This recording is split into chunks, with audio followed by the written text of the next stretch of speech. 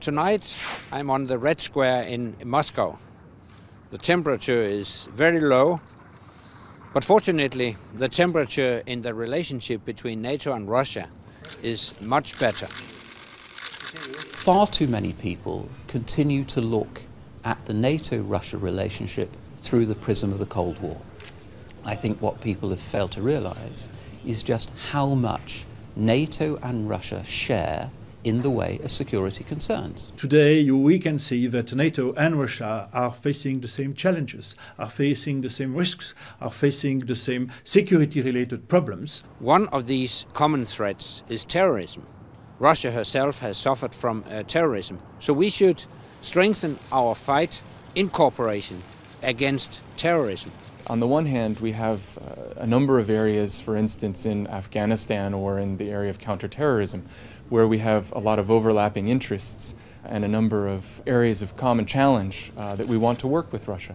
But at the same time, we have a number of areas where we fundamentally disagree. Uh, areas, for instance, like the Conventional Forces of Europe Treaty, uh, or in Georgia, uh, where NATO allies disagree quite strongly with the actions that Russia has taken in Georgia. It is complex uh, because uh, we are viewing things from different angles and different cultural and, I would say, even philosophical points of view.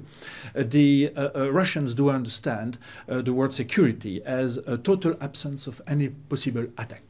We understand security as something which uh, basically means to take care about oneself, to take care about also societies. The NATO Russia Founding Act we have just signed joins a great nation and history's most successful alliance in common cause. When we signed uh, the first uh, act with the Russian Federation in 1997, uh, uh, we had only 16 allies around the table, plus Russia.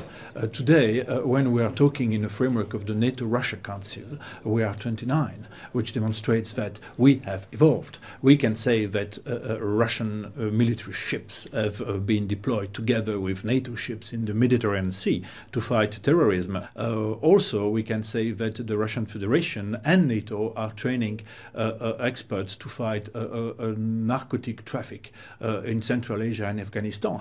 Furthermore, we are working quite intensively in the science field with the Russian Federation. We should join efforts in the fight against these threats and therefore we should develop a true strategic partnership. As we are talking, uh, uh, Madeleine Albright and a group of experts are discussing in Moscow the uh, strategic concept of NATO with the uh, Russian Federation leadership, which demonstrates that the relationship has not only evolved but grown as well. Russians uh, should and can apply to NATO, but of course it will not be called North Atlantic Treaty Organization, but Atlantic Pacific Security Organization, or whatever.